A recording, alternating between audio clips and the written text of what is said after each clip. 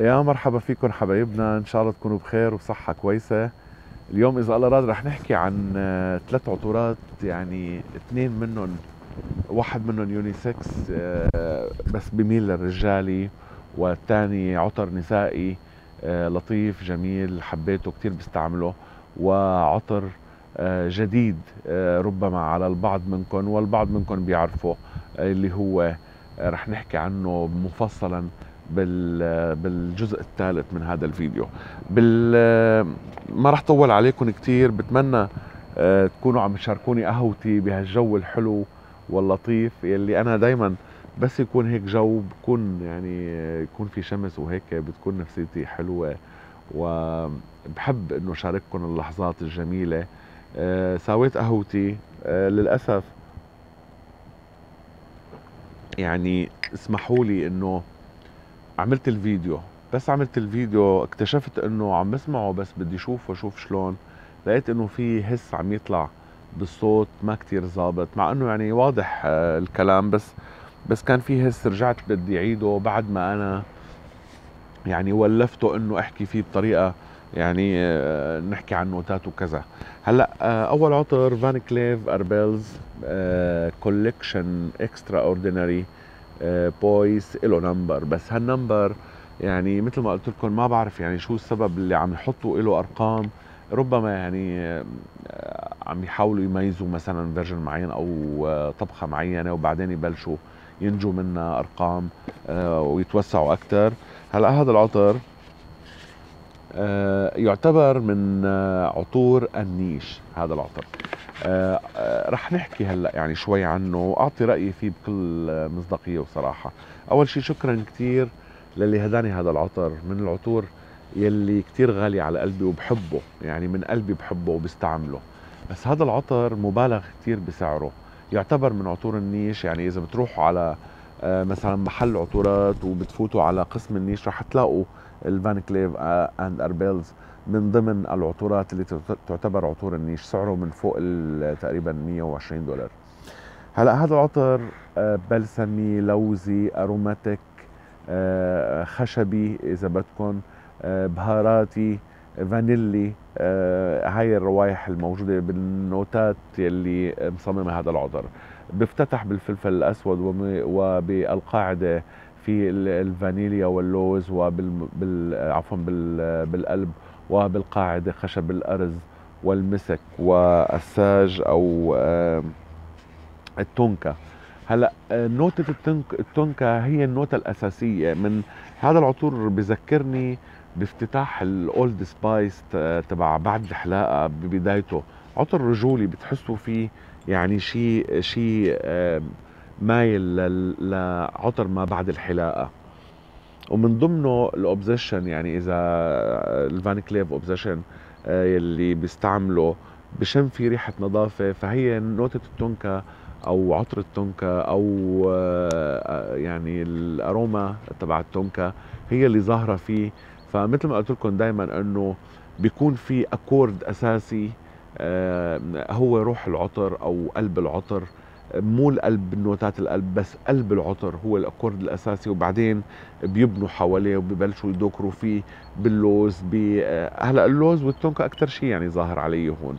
وبعدين الفانيليا وبعدين الخشب بعدين كذا لحتى يجيبوا آه، آه، العطر يلي هن يعني متخيلينه آه، لحتى يطلع. عطر جميل حلو أداؤه يلي عم يدور على الثبات العالي كتير لا مو ثبات عالي كتير ولكن مثل ما تفهمنا دايما إنه العطر يعني المهم إنه نحن نتمتع فيه برائحته إذا بي إذا بقي مرافقنا ثلاث ساعات أربع ساعات كتير حلو. آه والناس اللي عم تدور على الثبات بس تدور على الثبات وتستعمل عطر ثابت طويل الأجل فبصير فيها آه وجع راس أو هيدك واللي عنده شقيقة ما بتحمل النوتات المستمرة. هذا كان معنا العطر unisex مايل للرجولي ولكن يعني هلأ إذا مثلا بتشموا الأوبزيشن الرجالي والنسائي كثير فيهم روح من بعض ما فيكم تميزوهم كثير اذا إذا كنتوا عم تحبوا هاي النوتة يلي هي أكثر شيء بتظهر فيها التونكا واللوز. هلأ هذا أول واحد.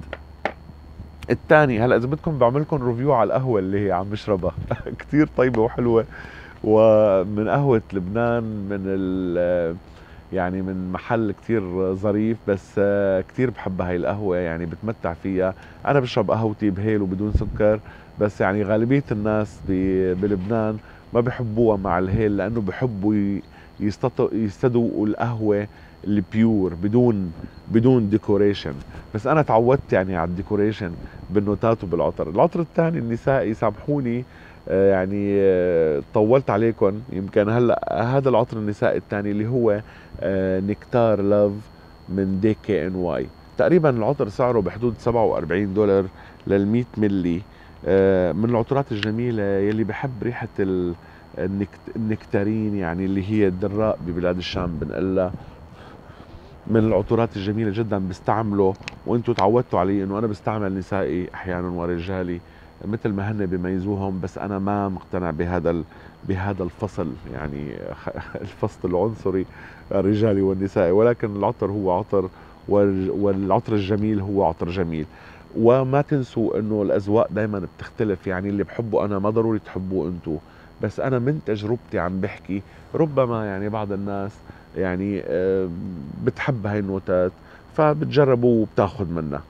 هلا الدي كي ان واي من من افتتاحياته النكتارين والجريب فروت وبوسطه الفانيليا والزنبق الوادي والياسمين وبالقاعدة خشب الأرز وزهر البرتقال والخشب الساج.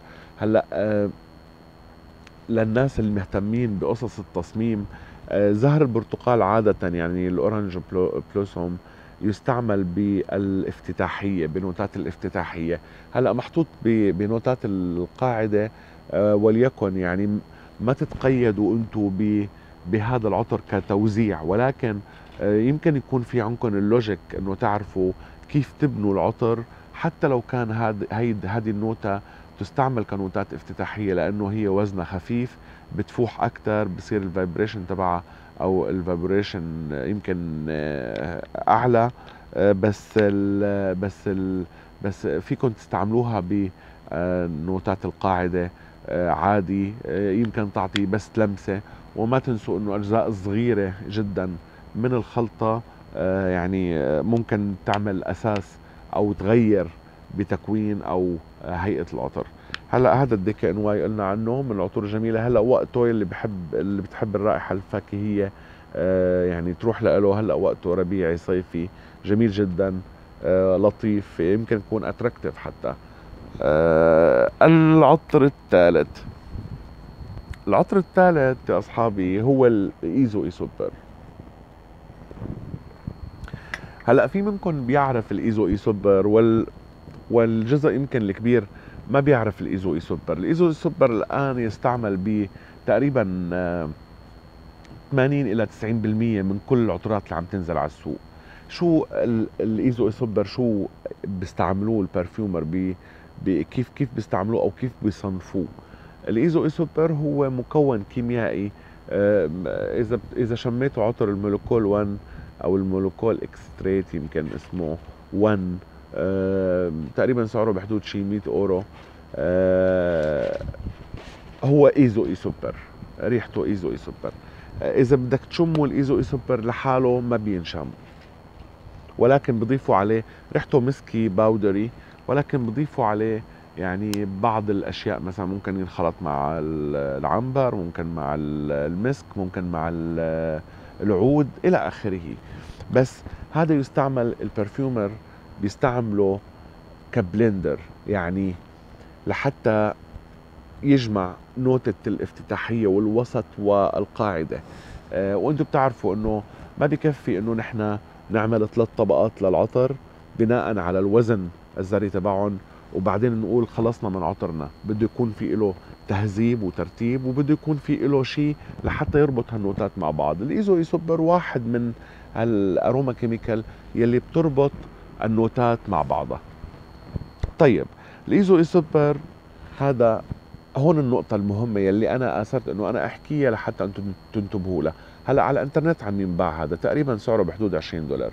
هذا 100 ملي تركيزه eau de parfum يعني أقل شيء من 18% ل 20% أنا وقت طلعت بمنظمة ال IFRA منظمة ال IFRA بتقول لازم يكون حسب ما فهمت أنا وإذا أنا كنت غلطان بتمنى من الأخوة اللي مهتمين بهذا الموضوع يصححوا لي وفيكم تجوجلوا. حسب ما فهمت إنه ال Iso E Super أنا بالنسبة لي بستعمله 20% من تكوين الفورمولا تبعي.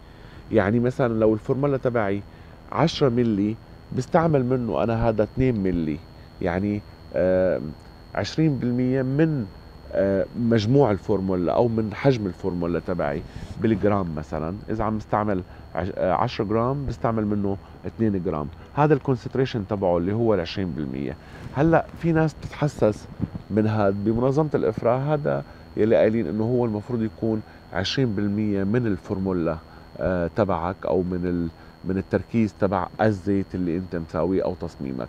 هلأ هذا 18 إلى 20% ربما ربما يسبب حساسية للبعض وربما ما يسبب حساسية. ولكن من الروائح الجميلة ولكن أنا بتمنى دائما منكم انكم تاخذوا حذركم من التركيز للمواد الكيميائية مثل ال Iso E Super هلأ هذا مخلوط مع مواد ثانية مثل المسك أو اللوز.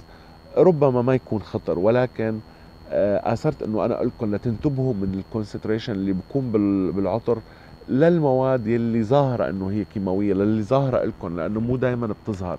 فال Iso E Super هو لحاله عم يقول إنه أنا آه، مادة كيميائية وموجود ب 90 إلى مثلا من 80 إلى 90% من العطور. انتبهوا هذا من العطور أنا اللي بحبها بستعملها جميلة جدا مسكية باودريه بستعمل معه شيء ثاني ولكن هو أساسا كيميائيا يستعمل كبلندر. طولت عليكم كثير 12 دقيقة. خجلان كثير منكم. ما انتبهت على حالي انه إنه حكيت هيك ولكن دائما موضوع العطور وقت يكون في شيء لازم نخبره أو معلومة لازم نشاركها بحب شاركها معكم والجو حلو وبتمنى لكم كل الأوقات السعيدة. هلأ صارت الدنيا عنا ربيع يعني إن شاء الله يا رب هيك يبقى الجو ويلي صار عنده ربيع يتمتع بأوقاته ما يفوت فرصة ما حلوة. عيشوا الآن انسوا يلي متعبكم من أول وما تخلوا اللي متعبكم يكون مستقبلكم نصيحة من أخ بحبكم. أنا بحبكم كتير كونوا بخير وأيامكم يا رب كلها عطر. يلي حب الفيديو يشاركه واللي ما حبه يعمل ديسلايك عادي ما في مشكلة. بس محبتي دايما إلكم مستمرة. يلي للي بحبني واللي ما بحبني. كونوا بخير بأمان الله.